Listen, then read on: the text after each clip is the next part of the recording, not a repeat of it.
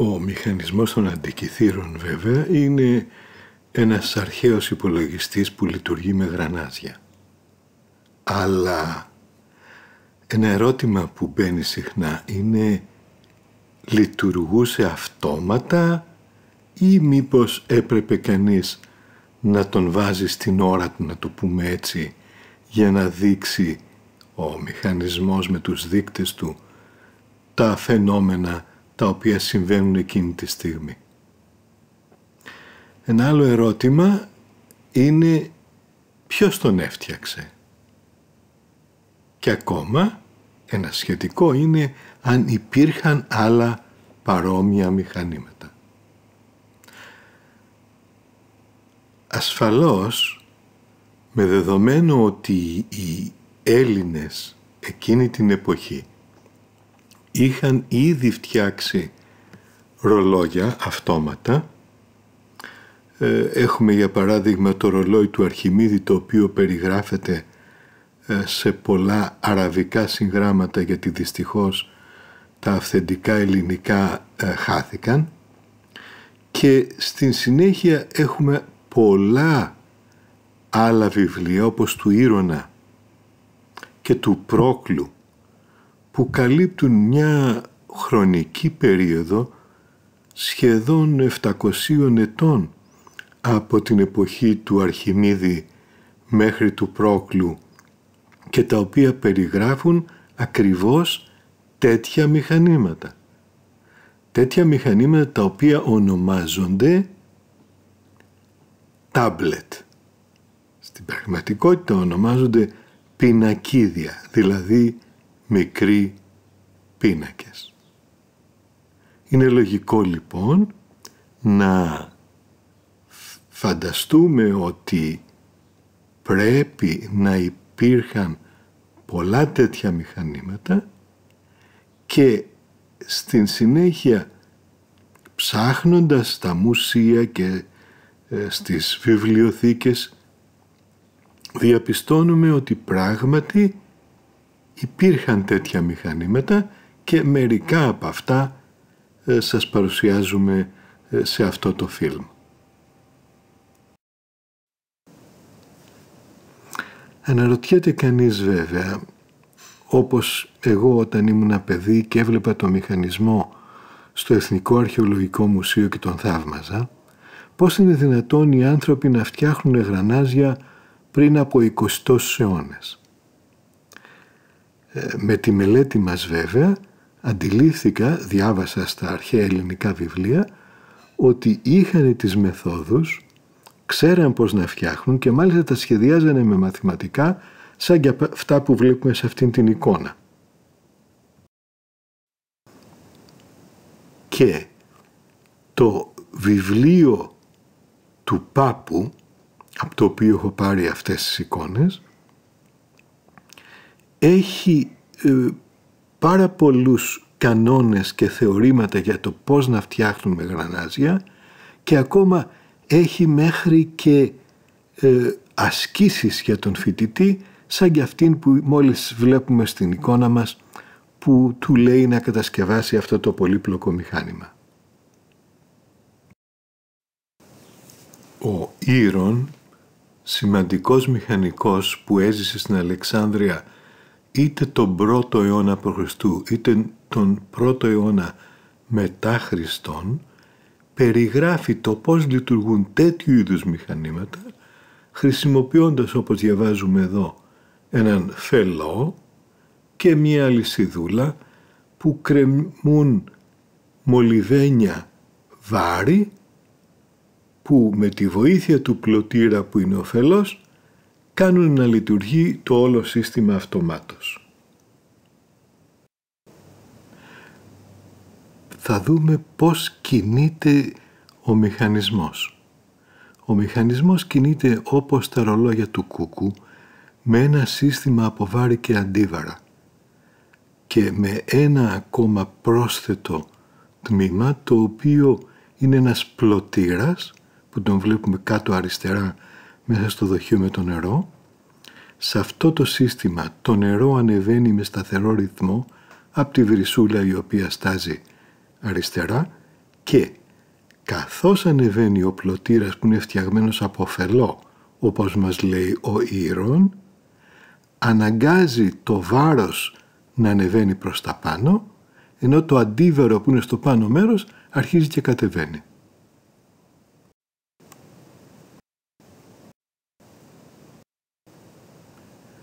Με αυτόν τον τρόπο λειτουργεί αυτομάτως ο μηχανισμός των αντικειθήρων που υποστηρίζω ότι είναι ένα αστρονομικό ρολόι. Αρχαίο μηχάνημα που μοιάζει με το μηχανισμό των αντικειθήρων και ασφαλώς είναι πρόγονός του είναι ο μηνοϊκός υπολογιστής που ο κύριος Τσικριτσής και οι συνεργάτες τον ανέδειξαν και μας απέδειξαν το πώς λειτουργεί και προβλέπει ακόμα και τις εκλήψεις γύρω στο 1800 π.Χ. Ποιος έφτιαξε τον μηχανισμό; Θα τολμούσαμε να πούμε ότι ο μηχανισμός έχει την υπογραφή του Αρχιμίδη και αυτό το βασίζουμε στο ότι ο Αρχιμίδης είχε φτιάξει δύο τέτοια μηχανήματα τα οποία ονομάζονται σφαίρες και τα περιγράφει πολύ καλά ο Κικέρον, ο σημαντικότερος δηλαδή Ρωμαίος ε, ρήτορ φιλόσοφος και πολύ σημαντικός πολιτικός επίσης, που ήταν θαυμαστής του Αρχιμίδη. Λέει λοιπόν ότι το μηχάνημα του Αρχιμίδη, τα μηχανήματα του Αρχιμίδη έδιναν στον ουρανό την θέση όλων των ουρανίων σωμάτων και πρόβλεπαν όλα τα αστρονομικά ε, φαινόμενα.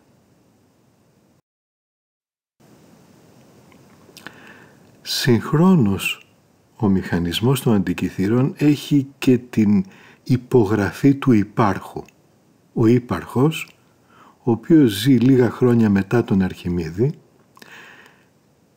είναι αυτός ο οποίος μετράει με ακρίβεια την ελλειπτικότητα ή την εκεντρότητα, όπως πιστεύουν τότε, της τροχιάς της σελήνης και τα στοιχεία τροχιάς της σελήνης που είναι μέσα στο μηχανισμό έχουν από τη μια την εκεντρότητα που μέτρησε ο ύπαρχος και από την άλλη έχουν μία μέθοδο που είχε χρησιμοποιήσει με τους επίκυκλους ειδικότερα για τη σελήνη αυτός ο αστρονόμος. Ένα άλλο πολύ καλό παράδειγμα είναι το ρολόι του ανδρώνικου κυρίστου κάτω από την Ακρόπολη των Αθηνών με ύψος περίπου 13 μέτρα, έχει κάπου 10 ηλιακά ρολόγια γύρω τριγύρω και μία κλεψίδρα της οποίας βλέπουμε ένα μέρος της δεξαμενής στο αριστερό μέρος του πύργου κάτω ενώ το νερό έρχεται από την Ακρόπολη με αυτήν ε, την κατασκευή ε, που βλέπουμε αριστερά. Και τροφοδοτεί το σύστημα που έχει ένα μηχανικό ρολόι παρόμοιο μάλλον με το μηχανισμό των αντικειθήρων. Το εσωτερικό αυτού του κτηρίου που δείχνει το πώς υπάρχουν κάποια αυλάκια εκεί με νερό ή δεν ξέρουμε ακριβώς τι που έκαναν να λειτουργεί ε, κάθε τμήμα του ρολογιού χωριστά πιθανότατα δείχνοντας τις θέσεις του ήλιου της σελήνης ίσως και των πλανητών. Ένα άλλο πολύ σημαντικό μηχάνημα πρέπει να ήταν αυτό από το οποίο προέρχεται το γρανάζι που βλέπουμε εδώ που βρέθηκε στην Όλβια η οποία είναι πόλη ελληνική παλιά της Σαρδινίας και είναι φτιαγμένο την εποχή του Αρχιμίδη.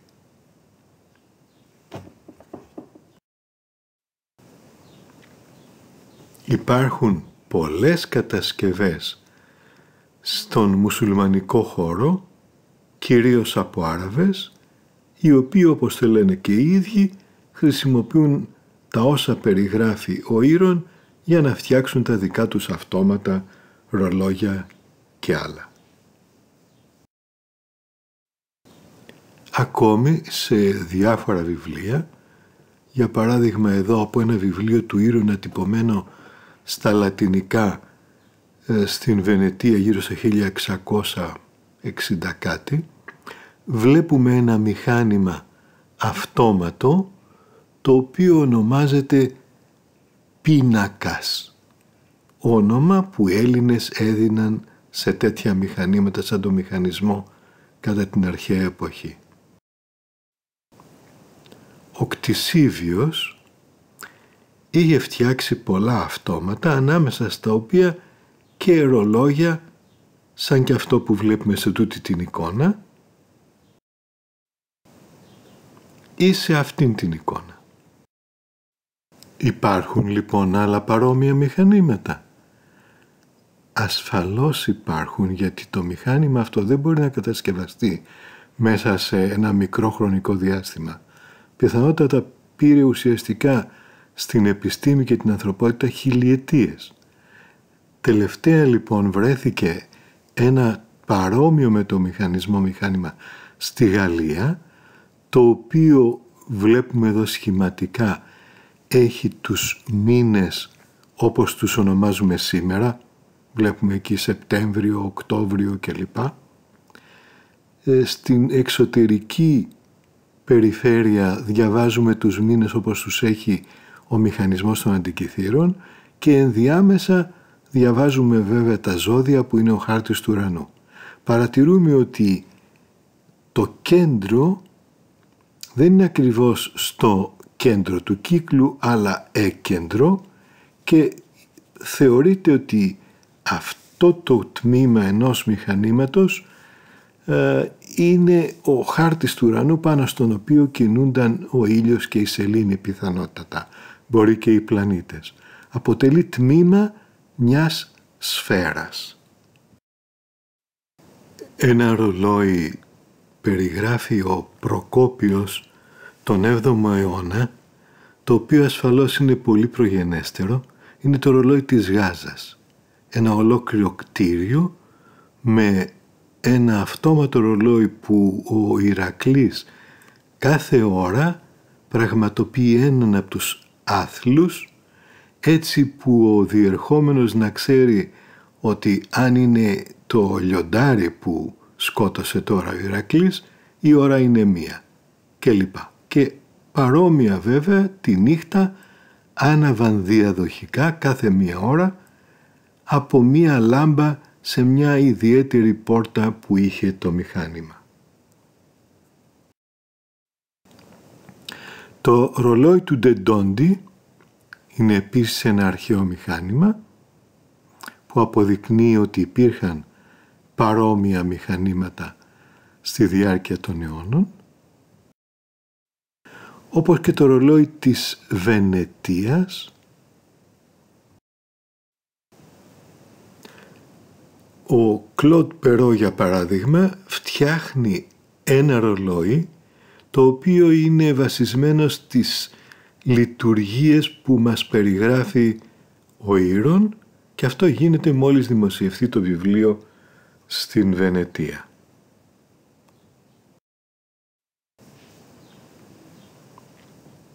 Στη Δυτική Ευρώπη έχουμε ρολόγια σαν και αυτό της Πράγας, τα οποία σε μεγάλο βαθμό είναι αντίγραφα του μηχανισμού των αντικειθήρων.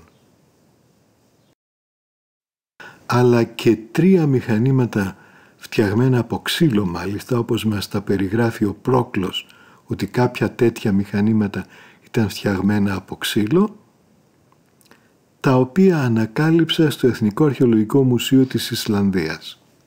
Φτιαγμένα πιθανότατα γύρω στο 1780.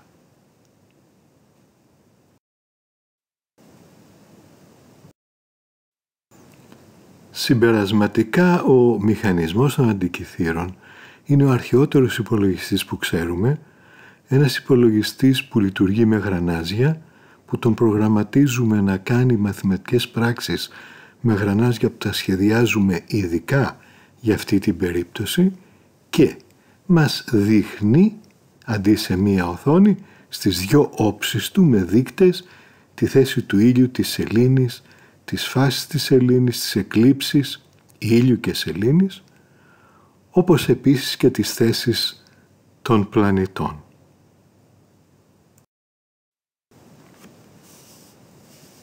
Εκφράζουμε ευχαριστίες στα μέλη της ομάδας μας, όπως επίσης και στους τεχνικούς μας,